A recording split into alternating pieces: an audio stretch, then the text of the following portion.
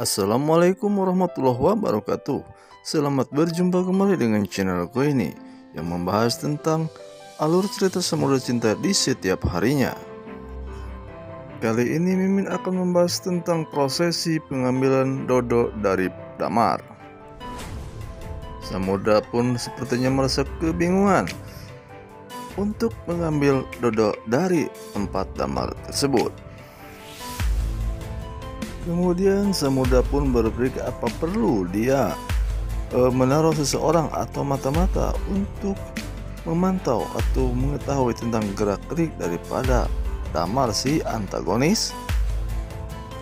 Di saat kebingungan, akhirnya Samudra pun mendapat telepon dari Gio. Yang mana dalam isi telepon tersebut dia meminta agar diberikan peta lokasi tentang keberadaan tempat damar atau lokasi penyimpanan daripada Dodo.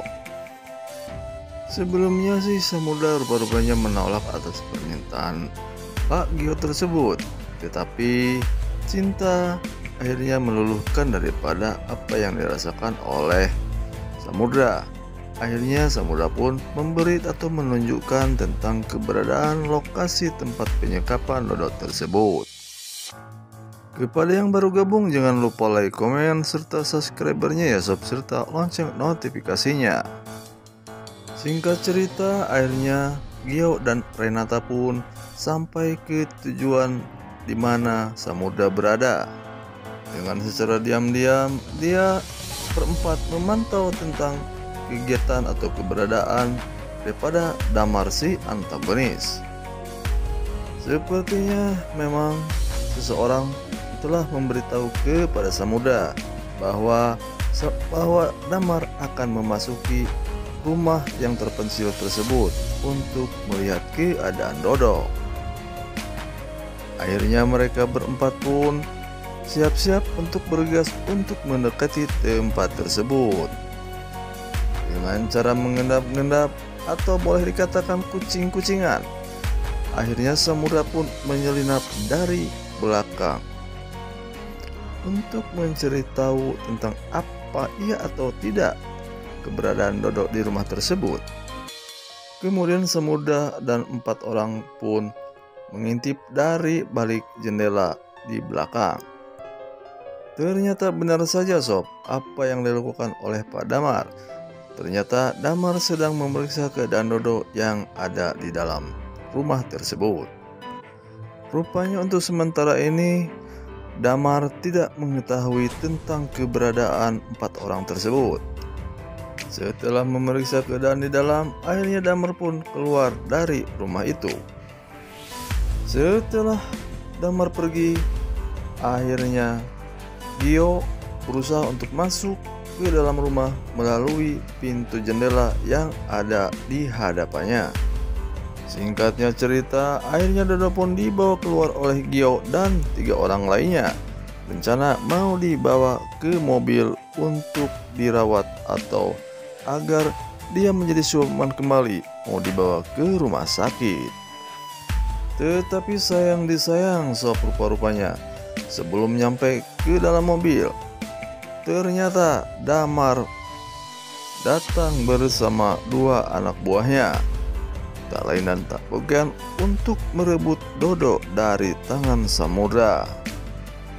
Akhirnya Samudra pun dengan Damar adu mulut karena tega-teganya Damar menyekap orang yang tidak tahu apa-apa atau Dodo. Padahal rupa-rupanya Damar yang lebih tahu tentang apa yang ada dalam pikiran Dodo tersebut. Akhirnya aksi rebut-rebutan pun terjadi lagi sehingga terjadi perkelahian antara Gio dan tiga orang musuhnya termasuk Damar. Sedangkan Samudra dan Cinta membawa Dodo ke dalam mobil bersama Renata. Tak lama kemudian, Samudra pun pergi meluncur untuk membawa Dodo ke rumah sakit.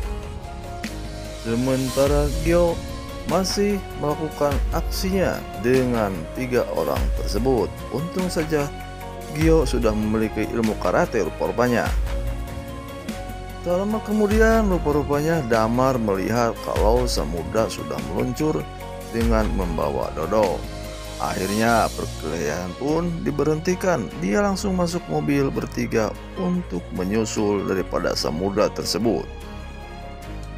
Akhirnya aksi kejar-kejaran pun terjadi antara Damar si antagonis dengan Samudra. Setelah keberadaannya di dalam mobil tersebut, tidak diduga-duga, Dodo pun sepertinya sadar. Kemudian Dodo pun ditanyai oleh Samudra dan Cinta yang ada di mobil itu. Setelah sadar, kemudian Dodo pun menyampaikan sesuatu kepada Samudra. Dodo menjelaskan kepada Samudra bahwa anak yang ada di tempat damar adalah anak kamu. Begitu ucap Dodo kepada Samudra. Samudra pun kaget ketika mendengar apa yang dikatakan Dodo tersebut. Dan dalam pikiran Samudra bahwa ini adalah bukti yang lainnya untuk meyakinkan kalau memang Kaila itu adalah mentari. Tapi rupa-rupanya sayang disayang sob. Ketika selesai mengatakan itu, akhirnya Dodo pun menghembuskan napas terakhirnya di pangkuan samudra tentunya. Sementara aksi kejar-kejaran pun masih saja terjadi. Namun sayang disayang ketika mobilnya damar untuk melaju ke pertigaan ternyata datang mobil truk dari samping kanan. Akhirnya mobil daripada damar pun menabrak mobil truk yang ada di depannya. Kejadian itu disaksikan oleh mereka berempat, yaitu rombongan Samudra. Akhirnya Samudra pun menolong daripada kejadian tersebut. Akhirnya singkat cerita, Damar pun dibawa oleh ambulan untuk menuju rumah sakit untuk dirawat. Kemudian Anaknya Damar pun, Lila dan Kaila tiba di tempat itu dan menangisi daripada Pak Damar tersebut yang terbaring di rumah sakit. Dan sepertinya luka yang dialami oleh Damar cukup serius.